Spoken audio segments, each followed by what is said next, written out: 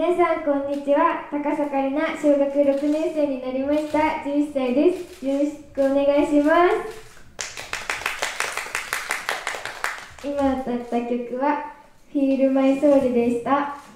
と私は春休み中にパパと一緒にティラミスを作ったんですけどティラミスを作ったんですけどなんかく生クリームを育育てるって言ったらあれだけどなんかふわ ふわふわってなんか立つようにするのになんか泡立て器とかミキサー使うじゃないですか。それででもお家にいなかったのでなんか混ぜるやつで自力で泡を立てたんですよ。それでもう手がパンパンになってまなちゃんとりなとパパ3人で交代でやってたんですけどなかなかできなくて本当に手がちぎれそうになるかと思いました。それでは次の曲聴いてください。最強ツインテール。